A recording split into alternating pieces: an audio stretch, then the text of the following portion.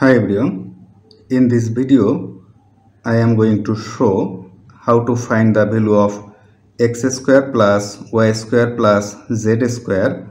where xy is equal to 200, yz is equal to 300 and zx is equal to 600. Let's call it as equation number 1, it as equation number 2 and it as equation number 3 now multiplying equation 1 and equation 2 we can write xy times yz is equal to 200 times 300 or y times y is y square times z times x is equal to zx is equal to 200 times 300 or y square times the value of zx is equal to 600 from equation 3 so substituting the value of zx we will have 600 is equal to 200 times 300 or y square is equal to divided both side by 600 we can write 200 times 300 divided by 600 so the value of y square is equal to 600 divided by 300 is equal to 2 and 200 divided by 2 is equal to 100 now from equation 1 we can write xy is equal to 200 or taking a square both side we can write xy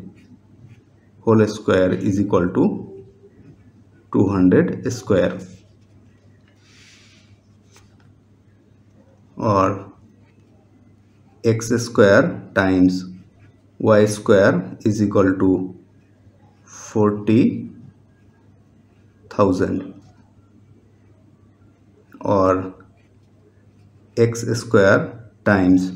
substituting the value of y square is equal to 100 we can write 100 is equal to 40,000 or x square is equal to 40,000 over 100 so the value of x square is equal to 40,000 over 100 is 400 now from equation 2 we will have yz is equal to 300 or taking a square to both side we can write yz whole square is equal to 300 whole square. Or y square z square is equal to 90,000 or substituting the value of y square is 100 we can write 100 times z square is equal to 90,000 or divided both side by 100 we can write z square is equal to 90,000 over 100 so the value of z square is equal to 900 now x square plus y square plus z square is equal to substituting the value of x square y square and z square we can write the value of x square is equal to 400 plus value of y square is 100 plus value of z square is equal to 900 so 400 plus 100 plus 900 is equal to 1400 so this is the value of x square plus y square plus